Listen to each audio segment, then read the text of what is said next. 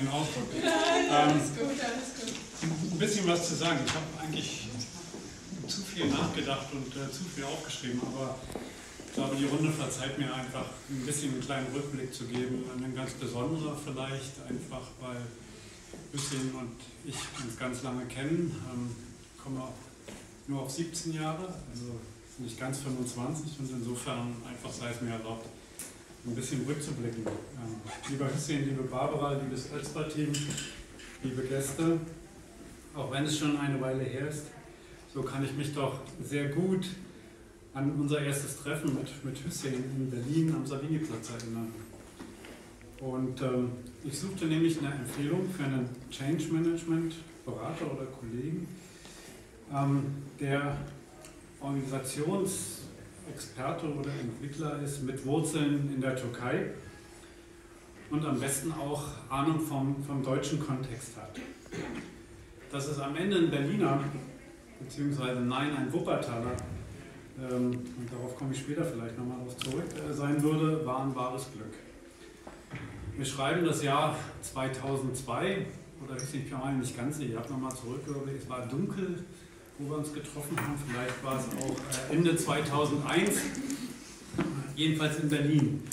Ähm, und es ging um die Türkei, ähm, wie schwer zu deuten ist, denke ich. Und äh, da habe ich eine Verantwortung übernommen in, in einer Fabrik in Çerkezköy. Also Çerkezköy, Kö ist das Dorf, äh, relativ ja, im Landesinneren auf der europäischen Seite.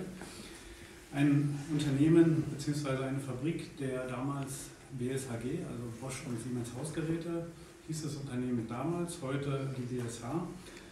Und wir hatten die Aufgabe, Hüsschen und ich, oder meine Aufgabe war es, einen Teamworkshop zu organisieren.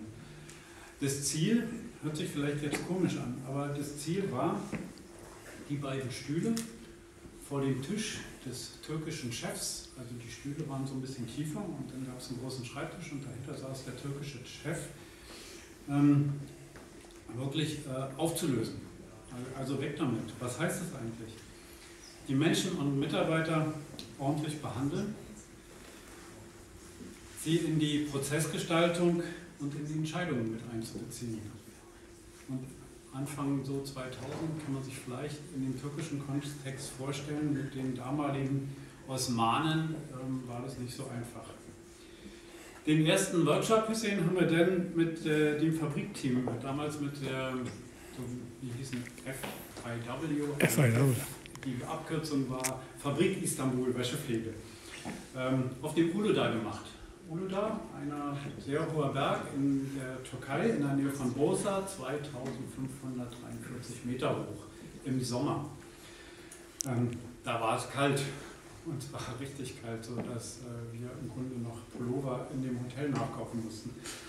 Ähm, am Ende dieses Workshops, also war auch mit dabei, ähm, der war nicht nur erfolgreich, sondern wir haben getanzt nach türkischer Musik äh, mit, mit Verkleidung und alle Mitarbeiter waren erstaunt, dass der Coach und der Geschäftsführer, der da neu kam, hier mit auf der Tanzfläche nach türkischer Musik getanzt haben. Ähm, ich werde es nie vergessen sehen und ähm, du hast es auch geschafft, hier alle mitzunehmen und last but not least, du warst es nicht alleine, es war immer, und hier steht ein Teil des, des Özpa-Team, was äh, mit für den Erfolg verantwortlich war. Es ging aber noch weiter mit der Türkei, nämlich wir haben einen GF-Workshop, also Geschäftsführer-Workshop auf den Prinzeninseln durchgeführt. Die waren total alle skeptisch, also zwei deutsche Kollegen und zwei türkische. Ähm, es ging um Organisation, es ging um Prozesse. Äh, last but not least, wir waren in Summe zu fünft mit dir und in den Workshop hat Hüseyin noch investiert, wie er so ist. Wir müssten eigentlich hier noch den Organisationsprojektleiter einfliegen lassen. Ich kann mich noch sehr gut daran erinnern, als wir auf die Prinzeninseln gefahren sind, ähm, hat Hüseyin mit den beiden türkischen Kollegen erstmal sprechen müssen die waren überhaupt nicht begeistert von der Idee, mit uns einen Workshop zu machen. Es waren Ronny und Özcan. Ähm, und last but not least, am Ende, als wir zurückgefahren sind, äh, waren sie nicht nur begeistert, sondern haben all die Themen mit aufgegriffen, die auch du mit eingebracht hast. Eine echte Geschäftsführer-Teambildung, äh, die wir mit dir zu verdanken hatten. Last but not least, Ähm, ich wechselte den Standort von der Türkei wieder nach, nach, nach Deutschland. Also unsere Geschichte ist irgendwo sehr eng miteinander verwoben. Und du hast in vielen Bereichen geholfen. Du hast eine Organisationsentwicklung in dem Berliner Standort der BSH, die Waschmaschinen entwickelt haben, mit uns durchgeführt. Diese Organisationsentwicklung oder die Organisation hat bis zum Jahr 2018 Bestand gehabt. Viel zu lang. Ähm, sie hat äh, auch dazu geführt, ähm, dass das Führungsteam damals auf einem äh, neues Niveau hat zusammenarbeiten können. Wir haben sogar in Spanien integriert. Ähm, last but not least hast du auch geholfen, bei dem Thema Berliner Fabrik zu schließen. Viele Diskurse, die wir geführt haben, eine wirklich ähm, schöne Zusammenarbeit äh, über viele Jahre.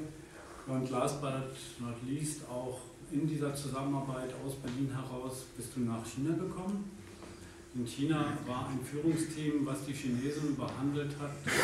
Ich kann es gar nicht beschreiben. Ähm, für einen Mitarbeiter, der zu spät gekommen ist, wurden ihm einfach mal im Gehalt 100 RMB abgezogen, nur weil er einen Tag zu spät gekommen ist. Und Hussein hat es geschafft, ein, ein Führungsteam neu zu etablieren mit der kompletten Mannschaft und auch eine Doktorarbeit über diese Arbeit zu schreiben, erfolgreich, sonst wärst du heute nicht Professor.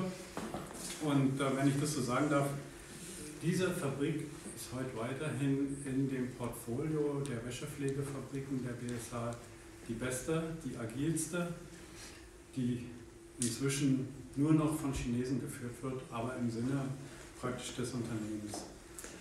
Es gab auch einen Wechsel meinerseits nach Schwaben ähm, und einen Türke in Schwaben kann man sich ungefähr vorstellen, dass das nicht so einfach war. Wir haben auch dort sagen wir, meine mal, Bereichskollegen dazu animiert, einfach auch hier mal zu überlegen, wie wollen wir eigentlich praktisch diesen Bereich führen. Sie haben sich darauf eingelassen.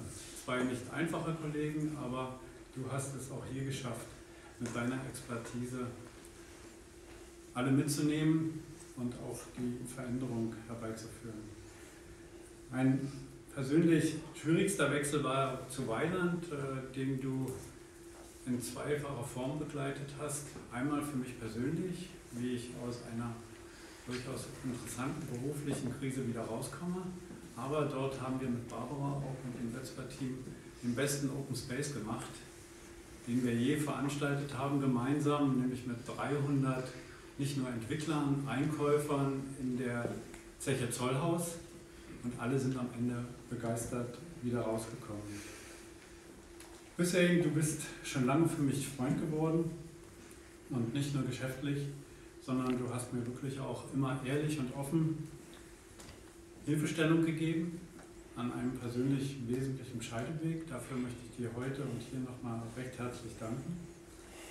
Du zeigtest hier deine Stärken, die ich sehr schätze, nämlich du kannst zuhören, messerscharf analysieren, im Systemkontext, wie du immer gerne sagst, auch im persönlich-psychologischen Bereich, du challenge ziemlich hart, was vielleicht sogar untertrieben ist.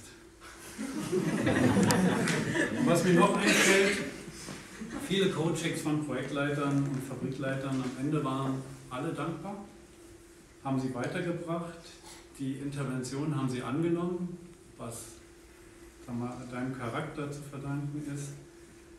Und schließlich, ich glaube, ohne die Nummer 1 im Team, nämlich ich habe Barbara mal ausgemacht äh, als Nummer 1, wäre gar nichts gegangen und die ganze Extra-Mannschaft auch nicht. Ich glaube, dafür gilt es einfach auch, es waren ja am Ende mit dir mehr als 25 Jahre, so vermute ich, äh, Danke zu sagen. Und eine letzte Unterstützung, auch Intervention, war in einem Kontext, nämlich in Israel, wo wir ein Startup Kooperation hatten.